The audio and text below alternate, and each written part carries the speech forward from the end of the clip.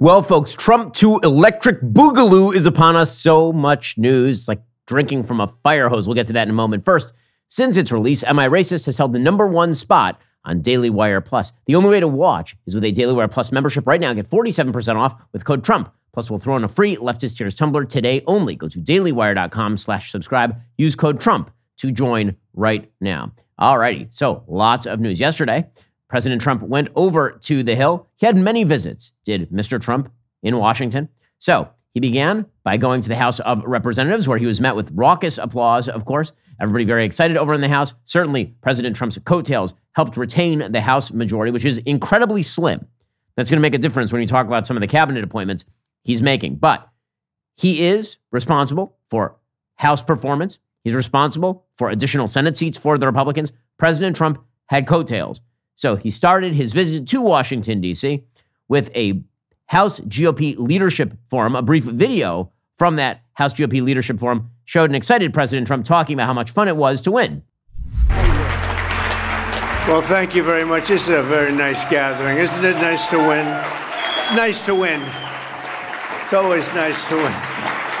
A lot of good friends in this room. So, you, you know, we had like historic kind of numbers especially for the president, but we won't get into that. Obviously, the president in an excellent mood. He then went up to the White House, and he was only the second happiest man in the room. So I'm not sure I've ever seen Joe Biden this. it's so good. It's so good. Okay, so if you go all the way back to 2016, when President Trump beat Hillary Clinton and then had to go to the White House and meet Barack Obama, and Barack Obama was clearly deeply perturbed by meeting with Donald Trump. The opposite is now true.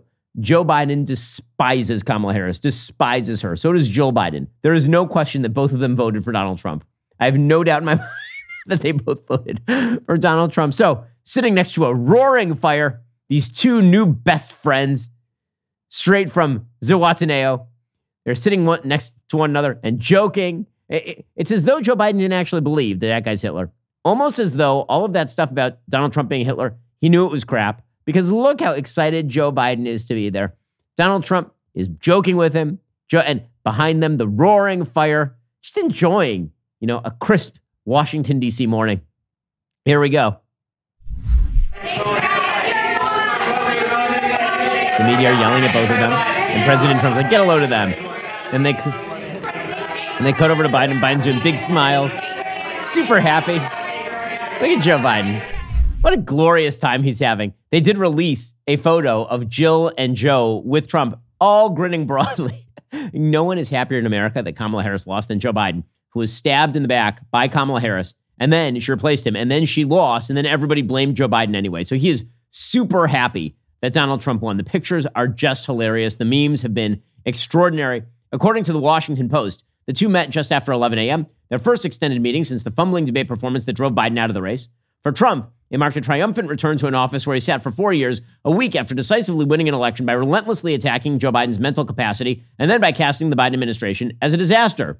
Congratulations, Biden said at the start of the meeting. During the brief time reporters were in the room, he added he hoped it would be a smooth transition.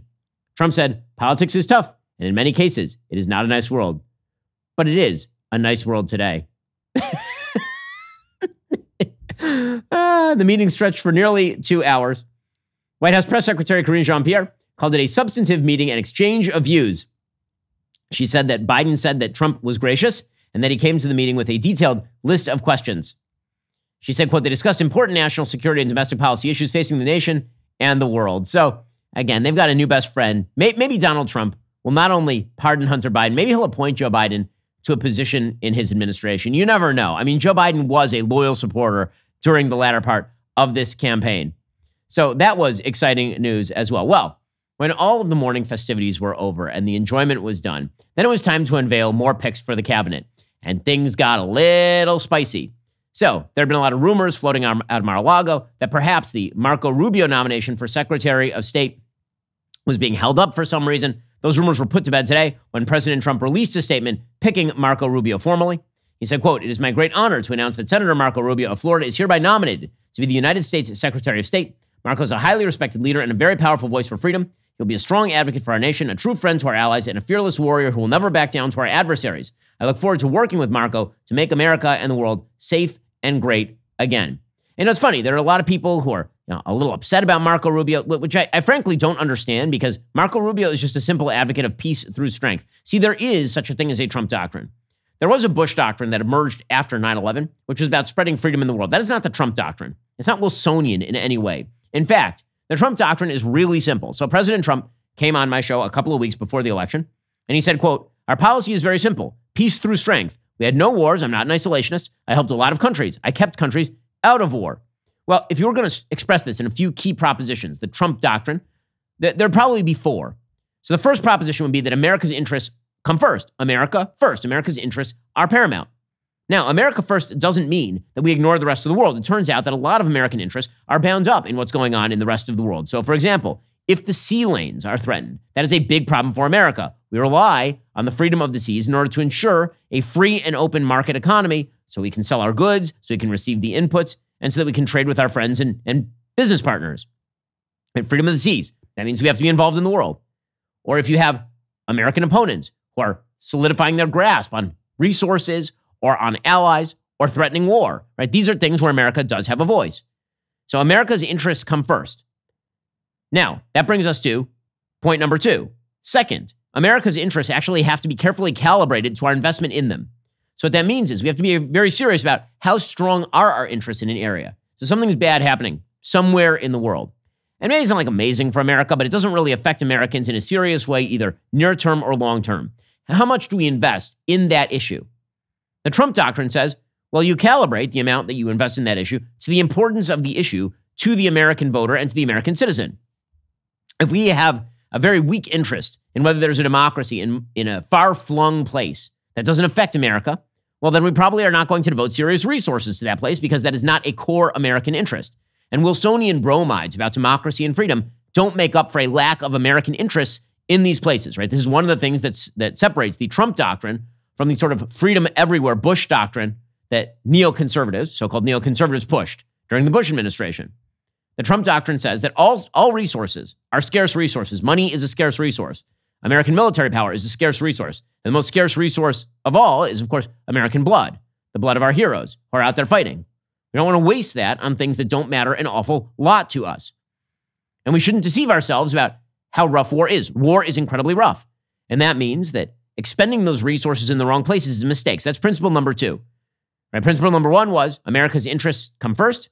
Principle number two is carefully calibrate what kind of resources you wish to expend to meet the strength of the American interest in these places. Third, once you've decided, you gotta go. Third, all measures and means necessary to achieve America's interests are on the table. So that means if we have to strangle the Iranian economy with sanctions, that's what we do. If it means that Donald Trump has to threaten Kim Jong un with his little red button, that's what we do. If it means that President Trump has to fire a missile and kill Qasem Soleimani, that's what we do. Right? The ancient Latin adage, which goes something like "Si vis pacem para bellum," if you want peace, prepare for war. That's a basic principle of the Trump doctrine, meaning you build up, you threaten, you have credible threat of the use of force, and you don't make nice. When it's time for war, you go. When it's time to stack bodies, as the nominee for Secretary of Defense says, you stack the bodies. War is not nice. It's not meant to be nice. In fact, the most humane war is the shortest and the most victorious. So this principle would be shortly put, F around, find out. That's principle number three. And fourth, we ought to say all these things out loud. We ought to say what America's interests are. We ought to say what sort of means we are willing to use to actually achieve those interests. And we should say out loud that if we go, we are going to go. We're going to punch you so hard in the face, you will never recover. If we say all those things out loud, then it reduces the risk that somebody's going to misinterpret what it is that we are doing in the world. Now, I don't see any of those things that Marco Rubio disagrees with. In fact, I don't see any of those things that Mike Waltz, the NSA, disagrees with, or John Ratcliffe, the head of the CIA, or as we'll get to, even Tulsi Gabbard over at DNI. Uh, in fact, I don't see very much to disagree with there, broadly speaking. Donald Trump's foreign policy team is a peace through strength foreign policy team. He said it himself. That's why he picked them.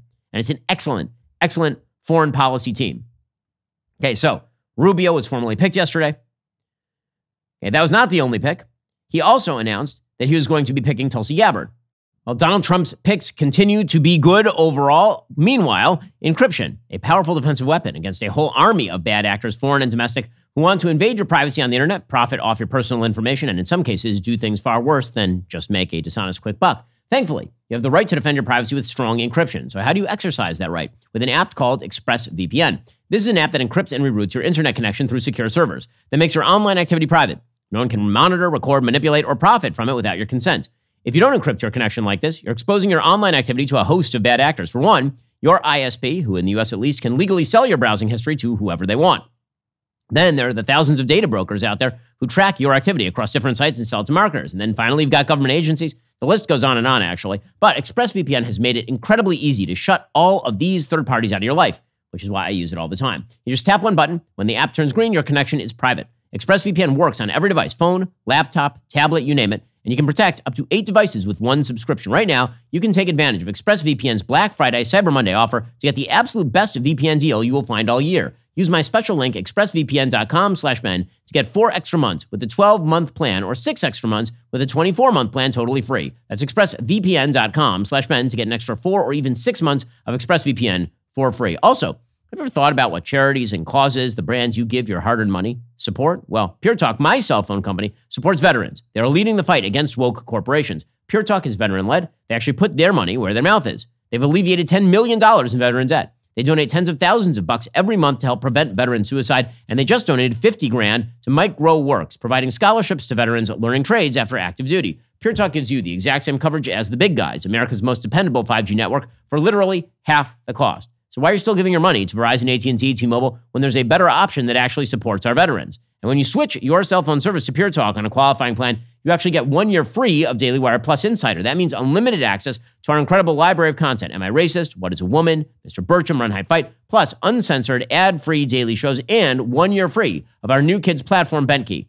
But the only way you can get this special offer is by going to puretalk.com slash Shapiro, or you can call and mention my name. Stop overpaying for your cell phone plan. Go to puretalk.com slash Shapiro today. Switch to a qualifying plan. Get one year free of Daily Wire Plus Insider.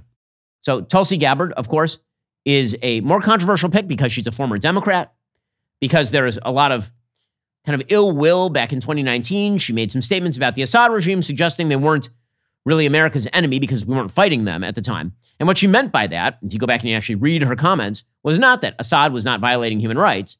What she actually said at the time was, yes, Assad is violating human rights, but we don't have a significant American interest in what's going on over there. She's also taken a more dovish perspective on the Russia Ukraine war, for example. She believes that it was Western encroachments in Ukraine via the attempt to enter the Ukraine into the EU and into NATO that, that led to Russia making its move to invade. Okay, so she's got more controversial foreign policy views as opposed to some of the more traditionalists. But the reason that Donald Trump is picking her for DNI is not really because of those foreign policy views. The director of national intelligence, that position coordinates between the CIA and the FBI. That's what that position is. So he's putting her as part of the intel community. Why? Well, because Tulsi Gabbard knows really, really well how many people have been targeted falsely by the intel community, including President Trump during his first term. In fact, she herself was apparently, according to her, put on a terror watch list just a couple of months ago. Well, now she's in charge of the DNI, so I would assume she's coming right off that terror watch list. I would assume. Here is Tulsi Gabbard speaking with Chris Williamson over at Modern Wisdom about the reality of a functioning democracy. And the most troubling part about there's so many things wrong with this, of course, but really at, at the most fundamental level, you look at um, you know, our country is the oldest democracy in the world but the reality of a truly functioning and thriving democracy that has brought to life the vision that our founders had for us that we really have a government of, by, and for the people, and that we have the ability and responsibility for that matter to ensure that um, the government we have only exists with the consent of the governed.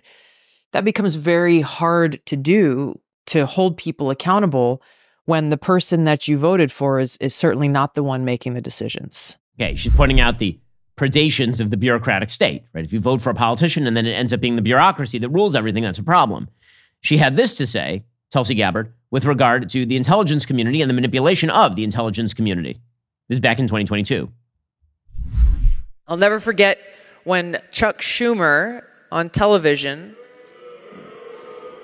warned Trump is an idiot to mess with the intelligence community because they can screw you six ways from Sunday.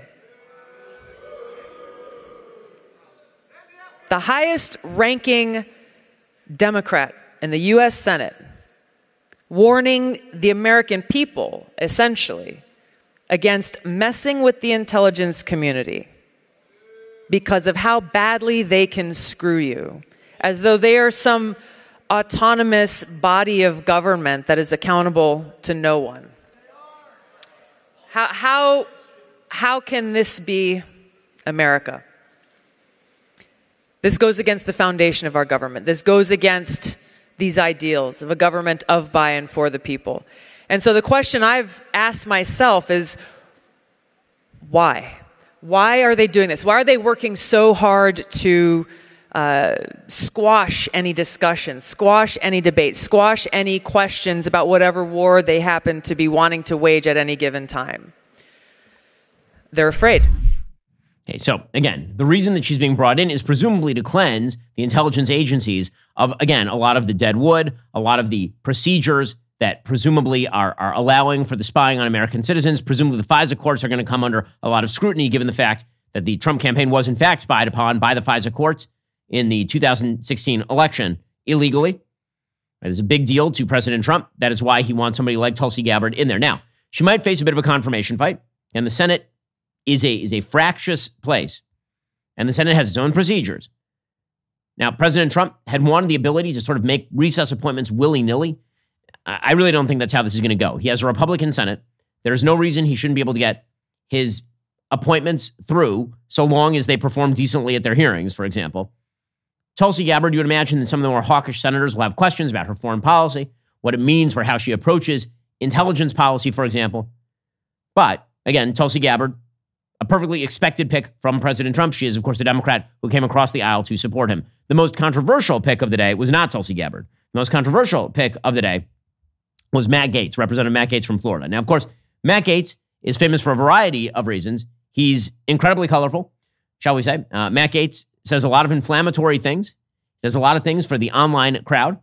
Matt Gaetz, of course, is the one who led a rebellion against then Speaker of the House, Kevin McCarthy, and basically forced his ouster, not because he thought that McCarthy was doing a horrible job running the House, but McCarthy suggests because Gaetz didn't want himself investigated. There's all sorts of accusations flying back and forth between McCarthy and Matt Gaetz. It is, it is true that Matt Gaetz is not particularly well loved by a lot of other members of the House. They, they think sometimes that he grandstands. There are some things that are true about Matt Gaetz, however. One of those things that when Matt Gaetz goes, he goes. I think the reason that President Trump wants him as AG is because Matt Gaetz is a passionate advocate against the predations of the DOJ against Donald Trump specifically. Again, he's a he's a very brash figure. Here's Matt Gaetz back at the RNC a few months ago. Under Biden Harris, America has fallen sicker, lonelier, and poorer. Under Trump, we prospered, we were richer, inflation was low, and there were two genders. The swamp draining will recommence soon, and I will be President Trump's strongest ally in Congress to pass term limits, to stop taxpayer funding for political campaigns, to ban members of Congress for life from becoming lobbyists, and for the same reason, you don't let the referee bet on the game, ban members of Congress from trading individual stocks. We are on a mission to rescue and save this country, and we ride or die with Donald John Trump to the end. Thank you all so much. Thank you for having my back. Let's go get him. Again, President Trump is looking for loyalty in his picks. He can expect that, I think, from anybody that he appoints, given the fact that there is a unitary executive branch. Here's Matt Gaetz going after the Department of Justice for targeting President Trump. Again, this is just a few months back. You can clear it all up for us right now. Will the Department of Justice provide to the committee all documents, all correspondence between the department and Alvin Bragg's office and Fani Willis's office and Letitia James's office? The offices you're referring to are independent offices of state. I get of- that. I get that. State, The question is whether or not you will provide all of your documents and correspondence. That's the question. It's, I, I don't need a, a history lesson. well, I'm going to say again, We do not control those offices. They make Yeah, their the question is own whether you communicate with them, not whether you control them. Do you communicate with them and will you provide those If you communications? make a request, we'll refer it to our Office of Legislative But, but Affairs. see, here's the thing. You come in here and you lodge this attack that it's a conspiracy theory that there is coordinated lawfare against Trump. And then when we say, fine, just give us the documents, give us the correspondence, and then if it's a conspiracy theory, that will be evident. But when you say, well, we'll take your request and then we'll, we'll sort of work it through the DOJ's accommodation process, then you're actually advancing the very dangerous conspiracy theory that you're concerned about. Again, Gaetz is very bright. He's he's a very loud advocate for President Trump. That's presumably why Trump wants him in there. By the way, if he actually gets confirmed as AG, half the DOJ just resigns the next day. So Trump's not even going to have to fire anybody. Everybody's just going to resign. So that's the upside. Whether he gets through a confirmation battle is another question. There are already several senators who have come out expressing serious doubts about Matt Gaetz. It's, it's, it's very questionable just on a raw level whether he is going to get through that confirmation process. Again, I do not think that it is likely that the Senate is going to go to recess in order to allow President Trump to make recess appointments when, again, the Republicans have a majority. Right now, for example, Matt Gaetz remains under continued investigation by the House Committee on Ethics over allegations of sexual misconduct, illegal drug use, and other allegations. He continues to deny any wrongdoing. Suffice to say, a, a lot of senators, a lot of Congress people are discomfited by Gaetz as the pick. President Trump's announcement says, quote, It is my great honor to announce that Congressman Matt Gaetz of Florida is hereby nominated to be the Attorney General of the United States. Matt is a deeply gifted and tenacious attorney trained at the William and Mary College of Law who has distinguished himself in Congress through his focus on achieving desperately needed reform at the Department of Justice. Few issues in America are more important than ending the partisan weaponization of our justice system. Matt will end weaponized government, protect our borders, dismantle criminal organizations, and restore Americans' badly shattered faith in, and confidence in the Justice Department. On the House Judiciary Committee, which performs oversight of DOJ, Matt played a key role in defeating the Russia, Russia, Russia hoax and exposing alarming and systemic government corruption and weaponization. He's a champion for Constitution and the rule of law. Now, again, you can see exactly why Trump picked him. With that said, it's going to be a rough road for him in the confirmation battle because there are a lot of Republicans who look at, at the allegations surrounding him, or they look at the sort of fractious way that he approached his, his uh, fellow members of Congress. This sort of stuff does matter in confirmation hearings. Uh, it- that, that, that is an uphill battle for President Trump. A lot of controversy from the Trump picks, but you know what should not be controversial? That a baby deserves its own life. But you know what the radical left keeps saying? That somehow being pro life is somehow anti woman. The left wants you to believe that killing babies is health care, that infanticide is reproductive freedom. That is, quite frankly, ridiculous. But here's the thing we don't just complain about the problem, we solve it. That's where preborn comes in. They're the largest pro life organization in America. They're doing something extraordinary. They're actually empowering women, unlike the abortion industry, that profits from their vulnerability. When a mom sees her baby on ultrasound, her likelihood of choosing life doubles. Doubles. And preborn doesn't just stop there. They provide support for up to two years after birth with diapers, car seats, counseling, actual healthcare, not the left's version. Here's how you can help save lives. Just 28 bucks. That's less than a week of coffee at Starbucks sponsors one ultrasound that could save a baby's life. And if you have the means, $15,000 will place an entire ultrasound machine in a women's center, saving countless lives for years to come. To donate, dial pound 250 say baby. That's pound 250 baby or visit preborn.com slash Ben. All gifts are tax deductible. Preborn has a four-star charity rating. Preborn.com slash Ben. Also, let me tell you about the holidays, the heart of family traditions. You know, those precious moments of being together, whether you're lighting the menorah, decorating the tree, or just sharing a meal. These traditions matter. But have you thought about what happens to your family's traditions when you die? Well, that's exactly why you need to protect your family's future and your peace of mind with Policy Genius. I know that was dark, but here's the thing. With Policy Genius, you can find life insurance policies starting at just 292 bucks per year for a million dollars in coverage. Some options are 100% online and let you avoid unnecessary medical exams. Policy Genius makes finding and buying life insurance really simple. They give your loved ones a financial safety net they can use to cover debts and routine expenses, or even invest that money to earn interest over time. Their digital tools let you compare quotes from America's top insurers side by side for free with no hidden fees. Their licensed support team is there to help you get exactly what you need. They answer questions, handle paperwork, and advocate for you throughout the entire process. Even if you already have life insurance through work, it might not protect all your family's needs and it probably won't follow you if you leave your job. Join thousands of happy Policy Genius customers who have left five star reviews over at Google and Trustpilot. Secure your families tomorrow so you can have peace of mind today. Head on over to policygenius.com slash Shapiro. Get your free life insurance quotes. See how much you could save. That's policygenius.com slash Shapiro.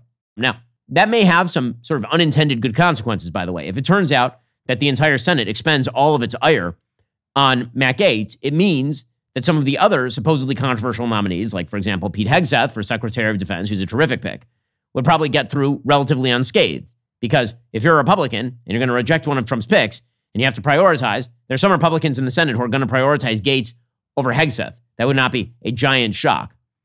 So there may be some unintended side effects of Gaetz' nomination, even if he doesn't pass through the confirmation process. However, that is definitely going to be Trump's hardest pick in terms of getting that nominee through a, a Senate that is fairly closely divided. Remember, the Republicans in the Senate only hold 53 seats. So all it takes is four Republican senators dropping off, and Gaetz is toast. Already, you have a multiplicity of senators who have signaled their discomfort with uh, the, the idea of Matt Gaetz as Attorney General. By the way, if it doesn't end up being Matt Gaetz, Donald Trump has a wide plethora of, of different attorneys on the Republican side of the aisle who will be just as aggressive as, as Matt Gaetz in that position. Again, Gaetz may get confirmed.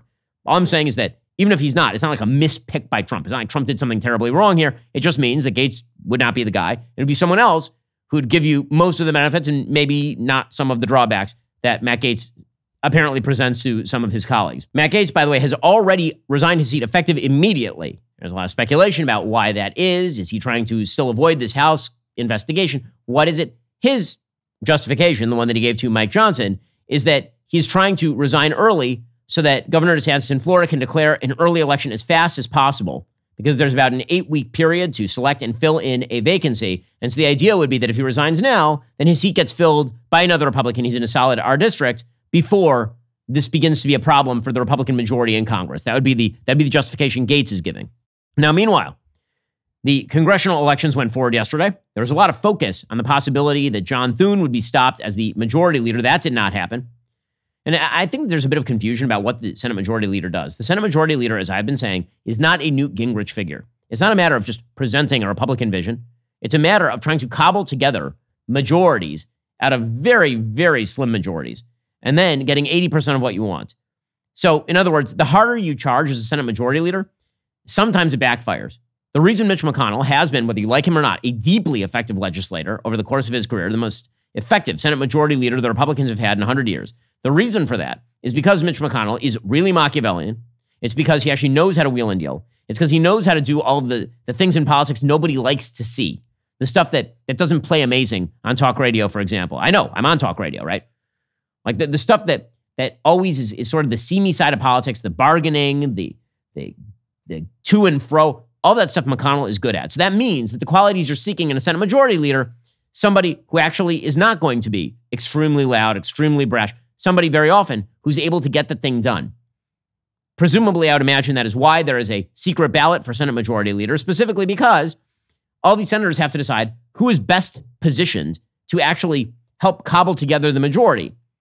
And you don't necessarily, I mean, it's sort of a different process than you voting for a bill. A bill is an up or down thing that the American public obviously has an interest in seeing. How you do your internal work is a little bit different. I mean, I see the case both ways, but that would be the logic in any case. In any case, Rick Scott, who is backed by a number of people who are in sort of conservative media, he was knocked out in the first round. Thune then ended up defeating Senator John Cornyn from Texas. Thune has been serving as the number two to Mitch McConnell for six years and staked out a middle ground during the campaign. He agreed to listen closely to GOP colleagues, according to the Wall Street Journal, on the direction of the chamber and openly embraced the Trump agenda. He did so without explicitly repudiating the Senate's current operation under McConnell. He said, I promise to be a leader who serves the entire Republican conference. We'll have an ambitious agenda and we'll take each and every Republican working together to be successful. The first test flared up immediately because Trump had suggested that candidates for Senate leader commit to allow at least some of the nominees to take office through recess appointment. Thune reacted, saying he was open to ideas on how to confirm nominees more quickly. He said, What we're going to do is make sure that we are processing his nominees in a way that gets them into those positions so he can implement his agenda. He said on nominees, the Republicans would, quote, explore all options to make sure they get moved and that they get moved quickly. Now, with that said, obviously, John Thune, uh, he, he is committed to making sure that Republicans' voices are heard, meaning that if Republicans want to shoot down a nominee, it's doubtful whether he is going to allow a recess appointment to overrule the Republican caucus as a whole. Senator Joni Ernst said he's got his work cut out for him. Yeah, you know, that's that is that is definitely true. So, you know, we'll see how all this plays out, but that's how the system of government is supposed to work. It's how the system of government is supposed to work. There should be this back and forth, this to and fro. It is you end up with better policy that way. President Trump knows that, which is why he sent congratulations to Senator Thune. He said he moves quickly and will do an outstanding job. I look forward to working with him as well as Senators John Barrasso, Senate Majority Whip, Tom Cotton, Senate Republican Conference Chairman, Shelley Moore Capito, Senate Republican Policy Committee Chairman, James Lankford, Republican Conference Vice Chairman, and Tim Scott, National Republican Senatorial Committee Chairman, to make America great again. Meanwhile, President Trump endorsed Mike Johnson, the Speaker of the House, hours ahead of any potential Speaker vote. He put that to bed. He said, I'm with him all the way, according to a couple of people. That's smart. Again, what we don't need right now is a lot of Republican infighting. What we actually need is to move forward. That needs to happen forthwith. No more of the shooting inside the tent when it comes to policy making. And I think Trump knows that, which is why, of course, he is moving along with Mike Johnson. And meanwhile, the Democrats are struggling to, to figure out what exactly to do. One of the dirty little secrets, of course, is that in many of the circles of power, they're kind of happy Trump won. If you are in business, you are very, very happy that Donald Trump won. If you're a global leader, if you're a member of another country and you're, looking at Trump, you're probably happy that Trump won. When I say that, I mean I've spoken with leaders of other countries, people who have publicly denounced Donald Trump, and they are relieved at the idea that the Biden era is coming to an end. It's been fraught with chaos and insanity. They liked Donald Trump's foreign policy much better than what they are seeing right now. Even Politico is noting that, quote, the Trump resistance goes flaccid. Donald Trump's 2016 election stunner sparked a global revolt. His 2024 triumph has met with a weary shrug. The Republicans' first win saw millions of political opponents protesting on the streets soon after the vote, organizing themselves with hashtags like resist. But since Trump's crushing victory over Vice President Kamala Harris in last Tuesday's election, the reaction from both Democratic voters and officials in European capitals has been less one of fiery outrage and more muted resignation. A European diplomat based in Washington, D.C. said, quote, I think we learned from last time it's important to talk constructively and confidentially instead of through social media. Well, yes. It is also true that Trump is part of a broader populist right movement that is emerging throughout the civilized world. A right movement that is tired of the scavenger philosophy promoted by the left that says that open immigration, largely from places that do not like Western civilization, is a good idea, or that the best the West can hope for is cultural stagnation and economic decline. Turns out people don't like that very much. And they're rebelling against that all across Europe. They're rebelling in South America. And they're rebelling in the United States as well. There's been a profound mood shift in 2024 compared to eight years ago, said Eline Severs, associate professor in political science at the Free University of Brussels. It's not unsurprising to witness a certain level of political burnout, of exhaustion, after the massive campaign, Severs said. I think a lot of activists are very tired. It's deflation after all these weeks of campaigning. Not just that, it turns out that Trump did a pretty good job the first time. A second European diplomat based in D.C. said, quote, people have reasonably fresh memories of what works and what doesn't work, and how you get on the right side of him, and how important, disproportionately important that is. So again, the, the levels of anxiety for Trump are not high. Secretly, they're kind of happy. And it turns out that if you like your pocketbook, you're happy as well. Because consumer sentiment is bouncing around and now it is up. Again, it's not that difficult to get consumer sentiment up. All you have to do is tell people you're not going to take all of their money, regulate them out of existence, or inflate all their savings away. It's a pretty easy things to do. Joe Biden failed signally at all of them, but they're not all that difficult to do. That's just one reason that Bitcoin is exploding. Bitcoin is up to 90,000. It's had a massive run from about 70,000 to 90,000 since election day alone. The election of a pro crypto president, according to the Wall Street Journal, has sent Bitcoin prices up 30% since election days. Traders are wagering Bitcoin will reach $100,000 before the end of the year, with $850 million worth of options contracts betting on the milestone by the December 27th expiration.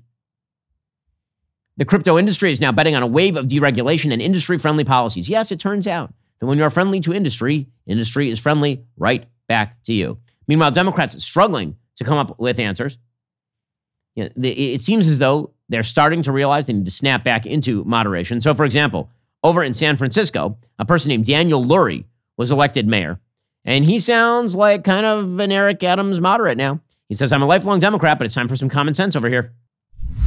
I am a lifelong Democrat, but we don't think of ourselves as progressives or moderates or conservatives here in San Francisco.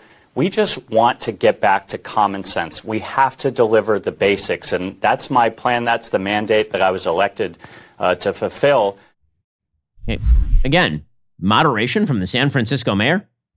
He also added, you know what people actually want? They, they're not that concerned about all the crazy social policies. They just want to feel safe in their cities. They want a mayor that is focused on delivering results. That's the mandate I was voted in with, and that's what I'm going to do. I don't believe that that is anything more than uh, those are progressive values. And so uh, I understand uh, I'm talking to a, a, national audience here. This is not liberal, progressive, conservative. People want to feel safe walking down the street. And that is right. In fact, Democrats are starting to argue about all of this. There's a piece in Politico that charts out a new memo that is making the rounds, like a three and a half page memo, pointing out how badly Democrats botched this. We'll get to that in just one moment. Democrats are struggling, but you don't need to struggle when you're looking for a place to learn. Grand Canyon University, a private Christian university in beautiful Phoenix, Arizona, believes we are endowed by our Creator with certain unalienable rights life, liberty, the pursuit of happiness. GCU believes in equal opportunity and that the American dream starts with purpose. GCU equips you to serve others in ways that promote human flourishing and creates a ripple effect of transformation for generations to come. By honoring your career calling, you impact your family, your friends, and your community. Change the world for good by putting others before yourself to glorify God. Whether your pursuit involves a bachelor's, master's, or doctoral degree, GCU's online, on campus, and hybrid learning environments are designed to help you achieve your unique academic, personal, and professional goals. With 350 academic programs as of June 2024, GCU meets you where you are and provides a path to help you fulfill your dreams. The pursuit to serve others is yours. Let it flourish. Find your purpose at Grand Canyon University. Private, Christian, affordable. Visit gcu.edu. Again, that's gcu.edu. So many other universities are out there teaching you trash or overcharging you for nonsense. That's not what you're going to get at GCU. Go check them out right now, gcu.edu. Also, if you want some facts, here are some facts. Am I Racist hit theaters in September. It quickly became the number one grossing documentary of the decade. Then, in October, we released it exclusively at Daily Wire Plus, where it immediately shot to the top, becoming our most watched piece of content. It still holds the number one spot. Remember, you can only watch Am I Racist with a Daily Wire Plus membership. Right now, we're giving you 47% off new memberships with code TRUMP. Plus, that annual membership comes with a free Leftist Tears tumbler. Now, here's a sad fact. Today is the very last day that we can offer that free Leftist Tears tumbler with your membership. Don't miss out. This is the time to join. Head on over to dailywire.com slash subscribe. Use code TRUMP for 47% off. Just review, join now, get 47% off your membership, watch Am I Racist, and get that free Leftist Tears tumbler today. So now the Democrats are trying to figure out what their pathway forward looks like. The obvious pathway forward for them is to jettison the identity politics. Politico is speculating that they might actually have to do just that. Piece in Politico by Jonathan Martin, their senior political columnist, quote, Democrats wonder, are we too correct? The depth of the 2024 defeat brings tough questions about a base built around identity groups. He says that the party might need an opening to rethink their orientation around affinity group politics. The question is whether they'll be emboldened or cower when one of those groups, as identity based organizations are invariably called, speak up. But the reward is alluring. Whoever can retain the party's traditional commitments to the most vulnerable and also appeal to voters who just rejected Harris will emerge as the Democrats' strongest 2028 nominee and perhaps the next president. But again, the question is going to be whether they are actually able to wake up to that. So long as people for example, like Joy Reid are out there, the answer will be no. Joy Reid over at MSNBC, she just gets more and more racist day in and day out. It's amazing. Y'all listen to this. Furthermore, I will direct the Department of Justice to pursue federal civil rights cases against schools that continue to engage in racial discrimination and schools that persist in explicit, unlawful discrimination under the guise of equity will not only have their endowments taxed, but through budget reconciliation, I will advance a measure to have them fined up to the entire amount of their endowment. A portion of the seized funds will then be used as restitution for victims of these illegal and unjust policies, policies that hurt our country so badly. Colleges have gotten hundreds of billions of dollars from hardworking taxpayers, and now we are going to get this anti American insanity out of our institutions once and for all. We are going to have real education in America. Thank you. So, in other words, reparations for white people.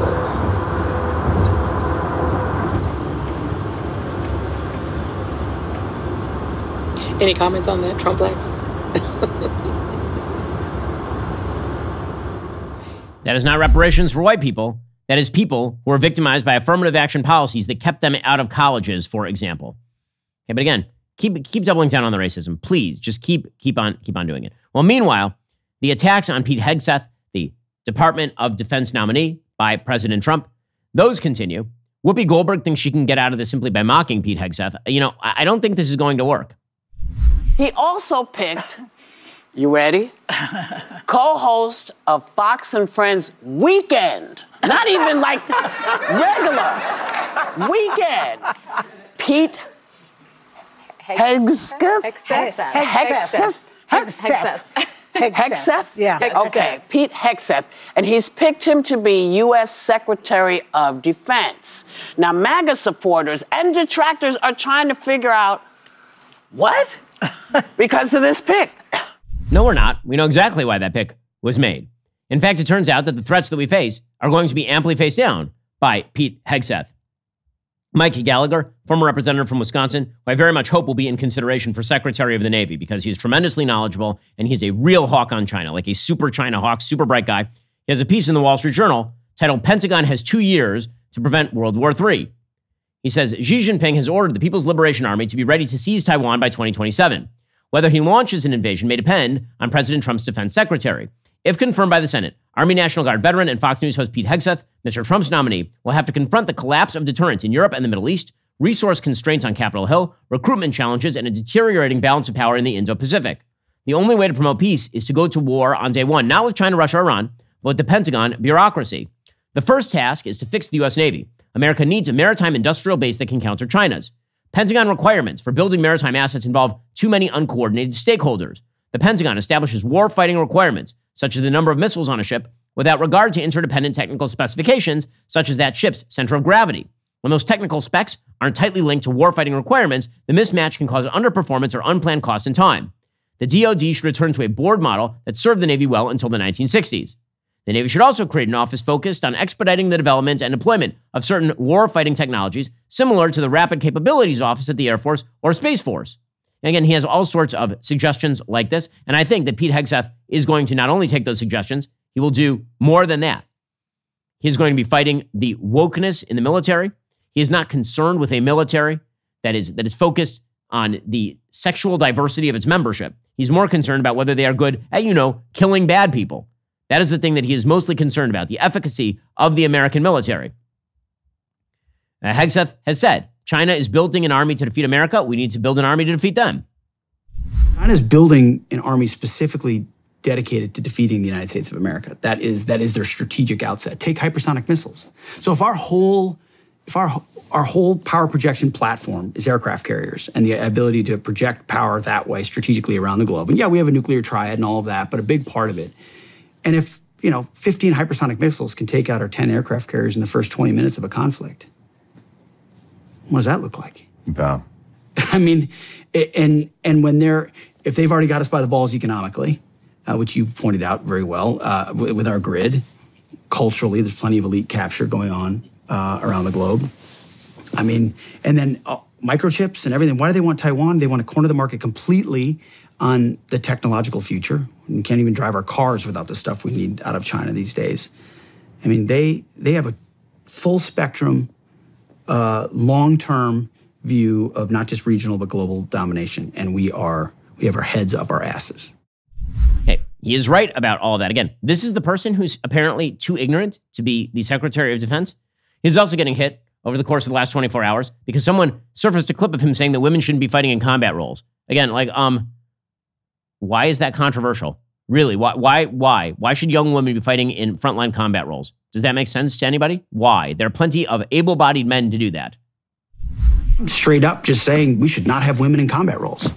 It hasn't made us more effective, hasn't made us more lethal, has made fighting more complicated. We've all served with women, and they're great. Mm-hmm. Um, it just our institutions don't have to incentivize that in places where traditionally, not traditionally, over human history, uh, men in those positions are, are more capable.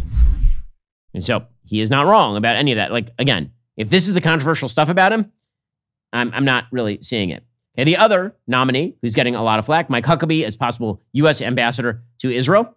That is because Huckabee is wildly pro Israel. He's not just pro Israel, he also understands certain basic facts, like the idea that settlements are not illegal in the West Bank.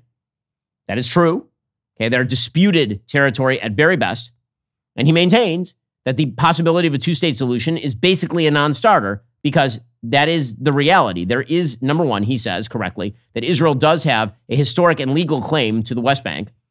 And not only that, he suggests that there is no actual peace partner for Israel. That's true. This, of course, has Democrats with their panties all in a twist because they're, very upset about the fact that he's saying true things about the situation over there, that there is no peace partner, and that Israel does, in fact, have a legal claim to the so called West Bank, Judea and Samaria, the biblical homeland of the, of the Jewish people. Here is a, here's Chris Van Hollen, senator, saying this is very, very bad. He supports this concept of a greater Israel, Israel controlling the entire territory uh, from the Jordan River to the Mediterranean Sea. That's a Mike Huckabee vision.